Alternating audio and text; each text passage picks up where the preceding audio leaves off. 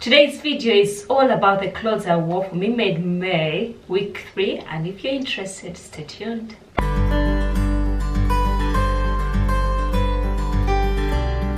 Hi lovely people, welcome to my channel, Josie here and this is It Is Josie. I'm glad to have you back again. Thank you for whoever took time to watch my previous videos of Me Made May roundup of week 1 and week 2 and for your lovely comments.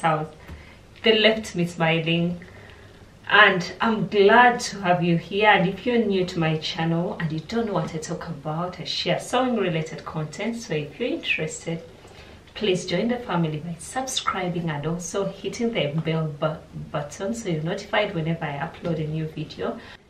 And like you've read today's video is a roundup of my week 3 me made May clothes and I've recorded a roundup of week 1 and week 2 and I'll attach them in the cards either here or here. I keep confusing which side they go to. But a roundup, I've already done a roundup of my what I wore Me Made May week one and week two. And in week one, I introduced what Me Made May is about.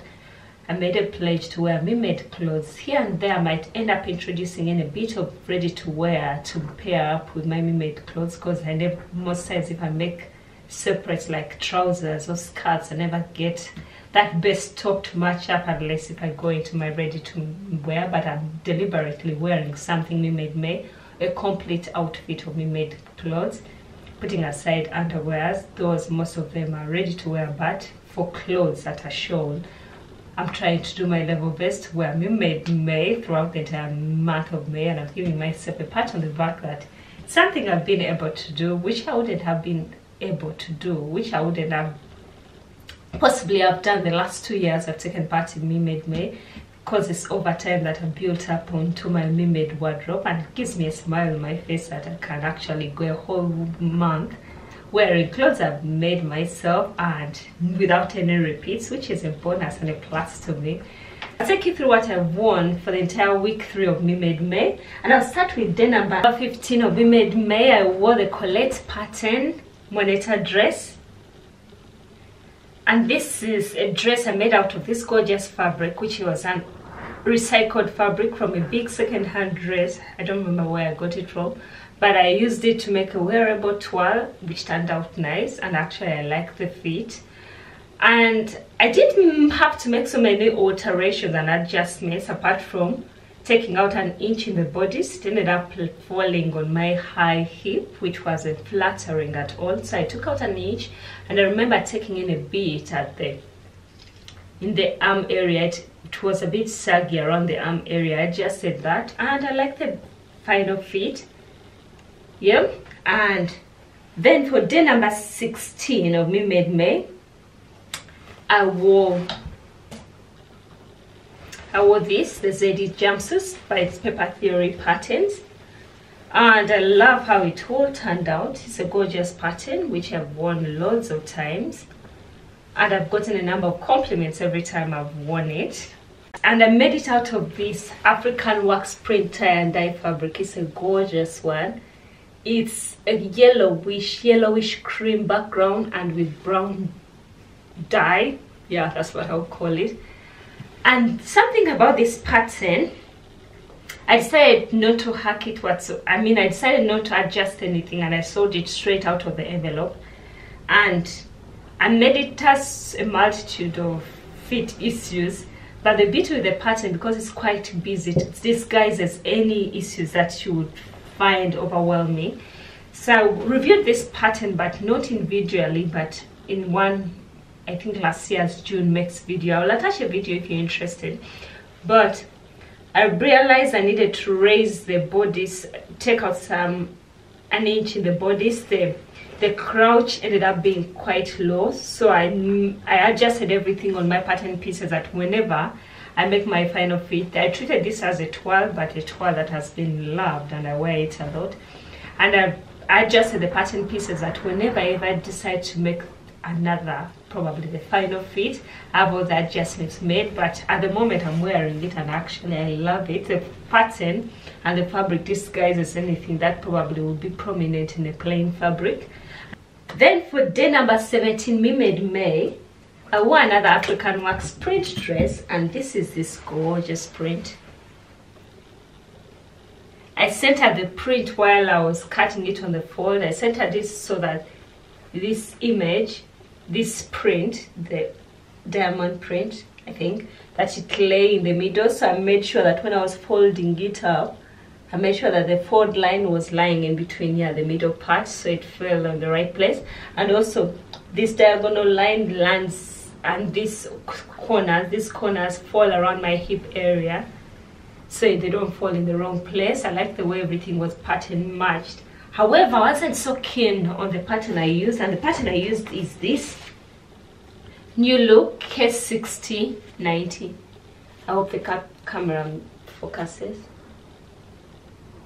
I will try to attach a picture, but this is the New Look 6095.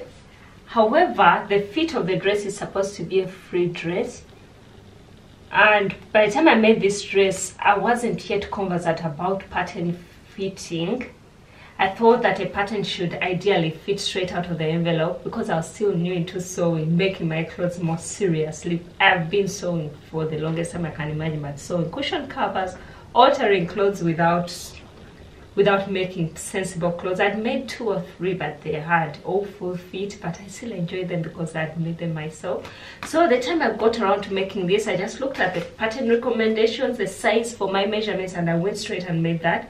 And by then I wasn't sure that you had to actually look at the finished garment measurements to help you determine which kind of ease you're happy with.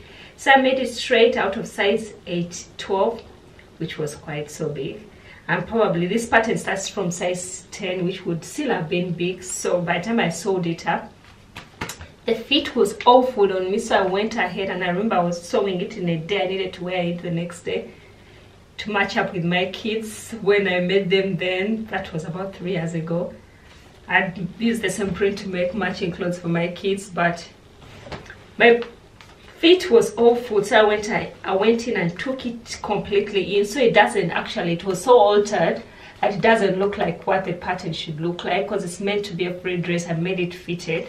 I did like the final fit i wasn't so happy with the final fit but i love the print so much that it covers all the all whatever i didn't like about it. And remember it was still in my early years of sewing and that was how I made that invisible zipper. It wasn't invisible at all but it has a lot of unpicking and everything that went on but it doesn't show as much. And now when I look back and I look at clothes with completed neat invisible zippers I give myself a pat on the back because it just proves to me of how far I've come.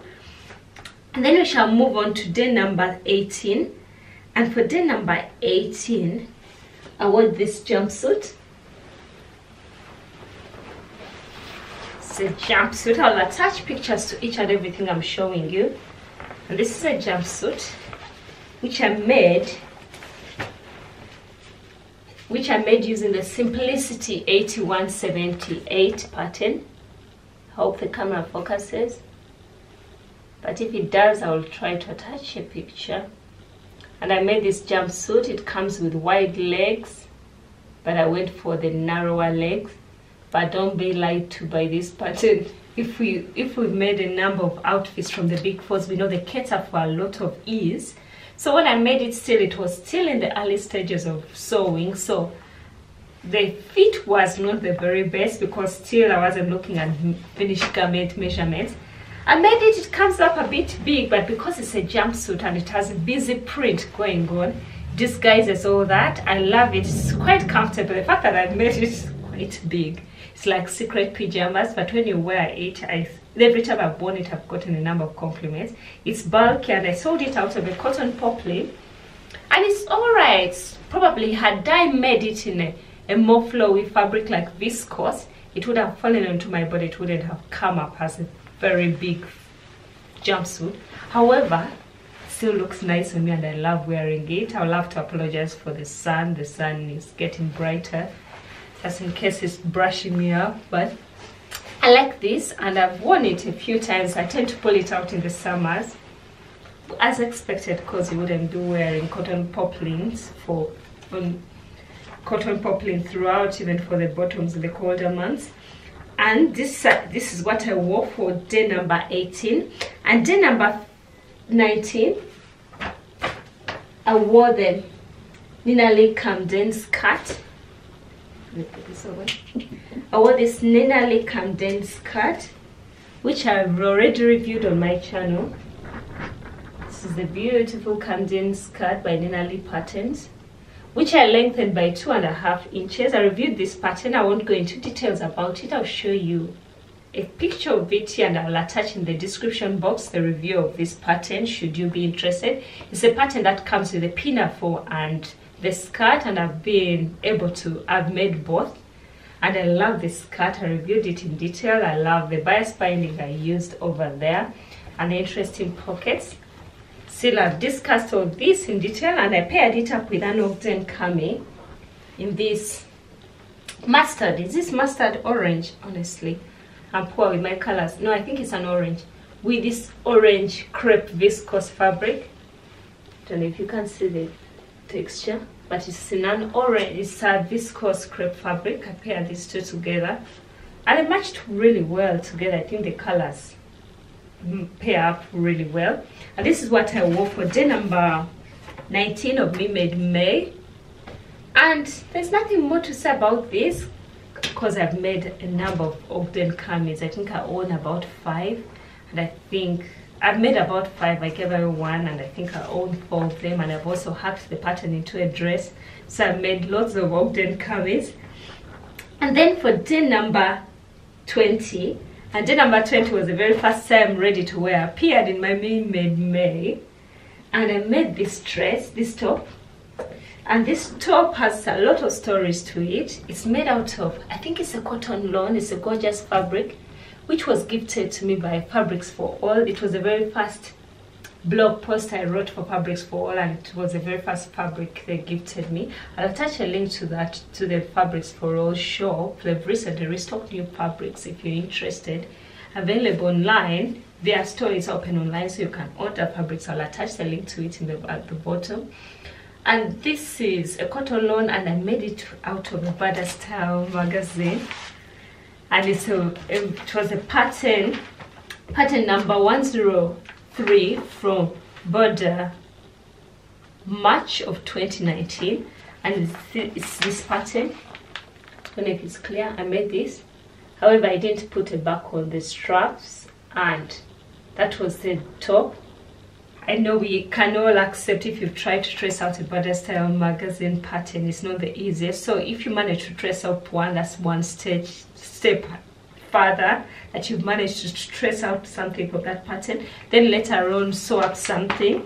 However, in all honesty, this was an easy pattern to sew. It has no closures whatsoever. So I managed to sew it up and I gave myself a pat on the back and I was honored to have my picture featured on the Burda Style Instagram page because I was talking about my experience sewing up my very first Burda Style magazine pattern. And I've sewed up a few more after that, so which is an exciting thing. And I, am falling in love with the Burda Style magazines. However, I realize now that I can't go into my into town to buy them from the WH Smith where I've always bought them from.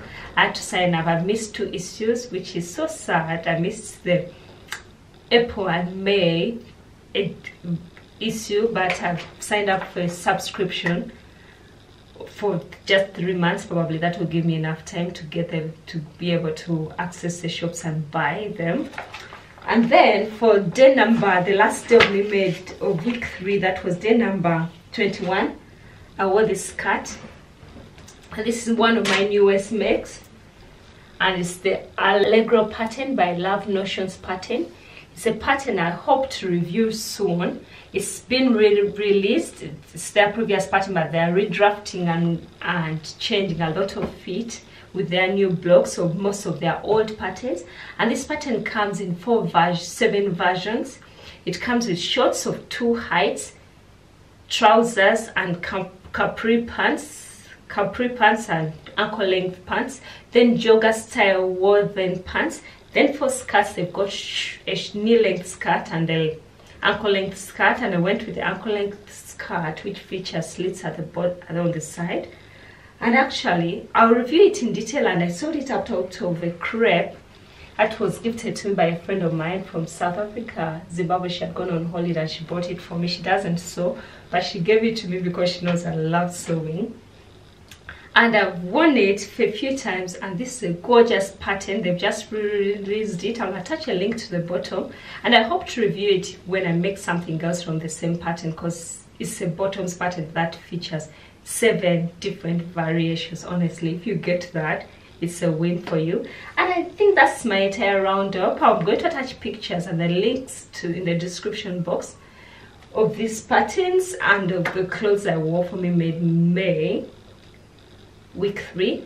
And as usual i would like to hear what you have to say about these patterns. Which patterns which outfits did you like most and which one probably has made you consider making something from those patterns tell me which patterns you, you would rather you please let me know which pattern you'd want to try and which your best and which was your best outfit from all this and oh the one i paired up with ready to wear was this top that I to wear over my black jeans. I've not, I'm yet to tackle jeans making. I know that's a gap in my wardrobe. I've not made many trousers and that's something to look at.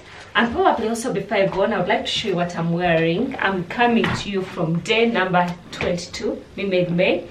I'm wearing the Sew Over It Silk Cami, which I made out of this polyester fabric paired with a pattern hug from this pattern. I have these trousers from this pattern like I've shown you Had them in two pants summer pants I will attach a picture and I had a waistband for the front bit up to here.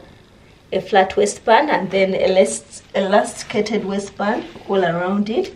Still has the pockets. I hacked it a few more times to get the best fit. And I like how I paired both of them. Let me stand up and show you. This is what it looks like. It comes up to my ankle. I love wearing these two together.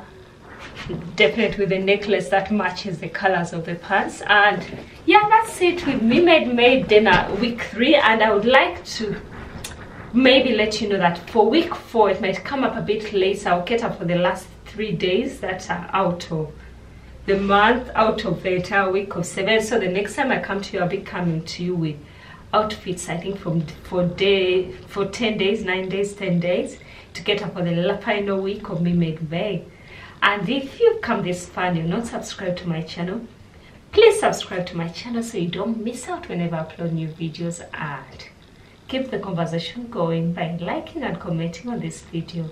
Thank you for watching. Until next time. Bye